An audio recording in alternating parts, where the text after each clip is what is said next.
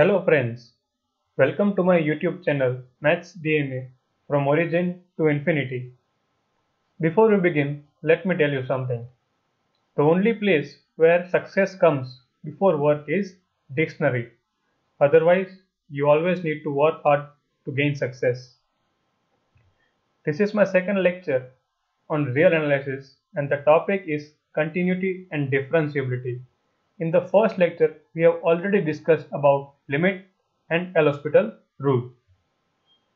In this video, we will discuss about graphical interpretation of continuous functions, continuous and discontinuous functions, differentiability of functions, and we will solve some problems from different competitive exams. Let us begin. Graphical interpretation of continuous functions. A function is said to be continuous if you can draw its graph without lifting your pen from the paper.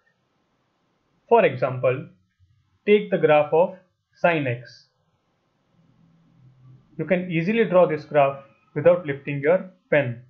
Similarly, take the graph of y is equals to cos x or take the graph of y is equals to x or y is equals to minus x. You can see that all of these graphs can be drawn without lifting your pen from the paper. Then what do we mean by discontinuous function? A function is said to be discontinuous if you cannot draw its graph without lifting your pen from the paper. For example, step function. You cannot draw this graph without lifting your pen from the paper. Also, take the graph y is equals to x square minus 1 upon x minus 1. At x equals to 1, the function is not defined, so it has a discontinuity over there. Let us study with proper definition. What do we mean by continuous and discontinuous functions? Continuous function. A function f is said to be continuous if for every value of c in its domain, first fc is defined and second limit x tends to c fx is equals to f of c. And discontinuous function. A function is said to be discontinuous if any of the following cases occur. First, limit x tends to c minus fx and limit x tends to c plus fx exist but are not equal that is left hand limit and right hand limit are not equal. Second, limit x tends to c minus fx and limit x tends to c plus fx exist and are equal but not equal to f of c. Third, fc is not defined. We saw this case in the example that is y is equals to x square minus 1 upon x minus 1. And fourth, at least one of the limit does not exist that is left hand limit or right hand limit does not exist. Differentiability of a function.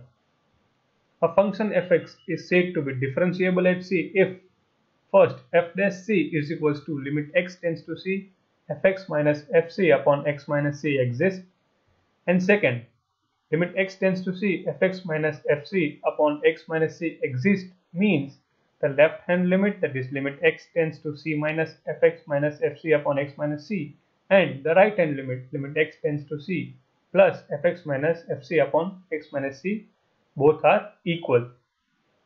Also you need to note it down that every differentiable function is continuous. Let us solve a problem from CSIR-NET and understand it more clearly.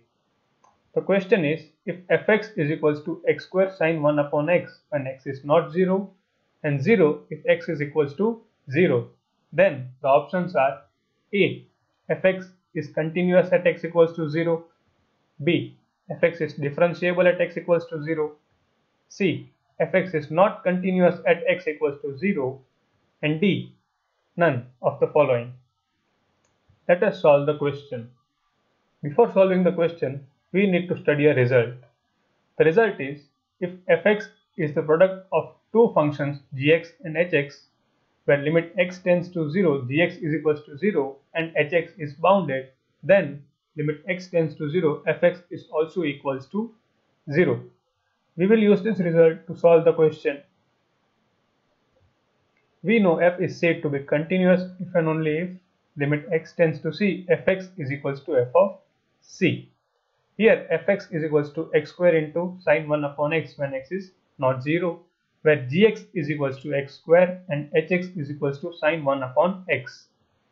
Clearly limit x tends to 0, gx is equals to 0 and we know that hx is equals to sine 1 upon x is a bounded between minus 1 and 1 as sine is a bounded function. Therefore, limit x tends to 0 fx is equals to 0 which is equals to f of 0. So f is continuous.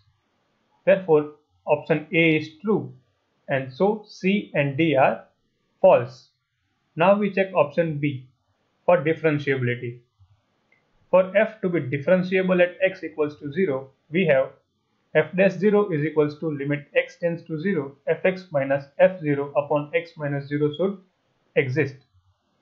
f dash 0 is equals to limit x tends to 0 x square sine 1 upon x minus 0 upon x minus 0 which is equals to limit x tends to 0 x square sine 1 upon x upon x which is equals to limit x tends to 0 x into sine 1 upon x which is equals to 0 as limit x tends to 0 x is equals to 0 and sine 1 upon x is again bounded.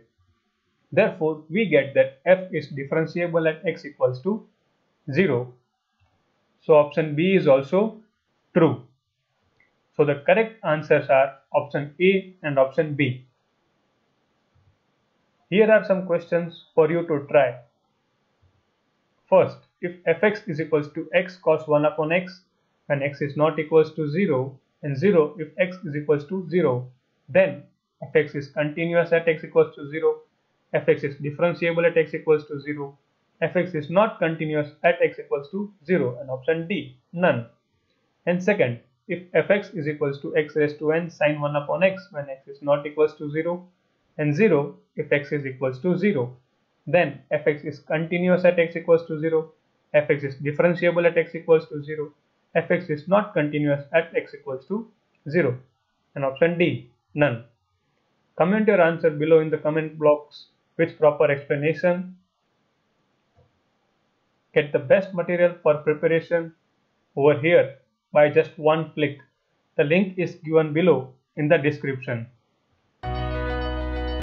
Thank you and check out other videos in the series over here.